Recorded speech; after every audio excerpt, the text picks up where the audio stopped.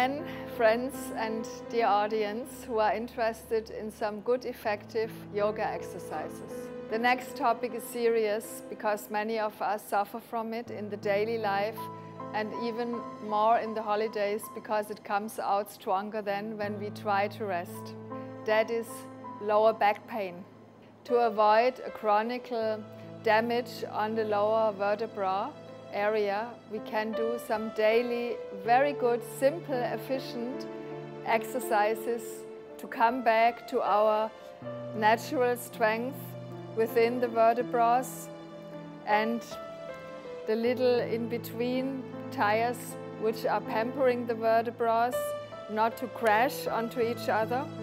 So that's a question of nutrition and right food. So to start out with, Always is important to bend and go up again, to bend and go up again, to keep the flexibility of the vertebrae and the complete spine. So means let yourself hang, come up again, let yourself hang, come up again. You do that 10 times and you feel nicely elastic in the whole back and pelvis. So now we go in the next exercise. So now we go in the child's pose in order to relax the whole spine because it's an elastic kind of a ladder.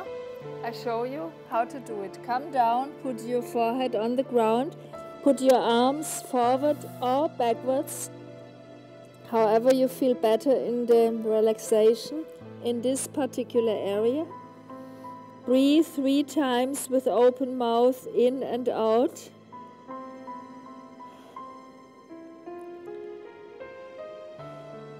And then we do one thing. We put little fists together like thumbs inside the hand, put the rest of the fingers around the thumb and take these little fists and just go over your pelvis a little bit up to the shoulder blades and just give nice little knocks on your back on your bottom. You do it in your own rhythm and it's so nice to give movements that are loosening the muscles the tissues the tendons and breathe and enjoy the little exercise. It's so simple and effective. Then come up again. Put your hands on the upper parts of the legs, front. Push the pelvis forward, put the chest up, close your eyes for a moment and feel whether already there is a feeling of getting a longer spine, that is a good sign. Keep on breathing. Let your jaw hang.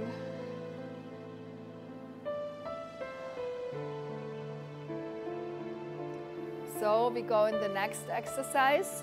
Just get your lower legs shoulder wide parallel and get your head a little bit bent backwards, your eyes focusing the ceiling.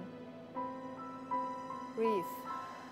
Chest slightly bent and then very gently go backwards and your hands hold the backside of the feet and we hold the spine and the neck in a good line, a little bit bent and breathe in the lower belly, in and out.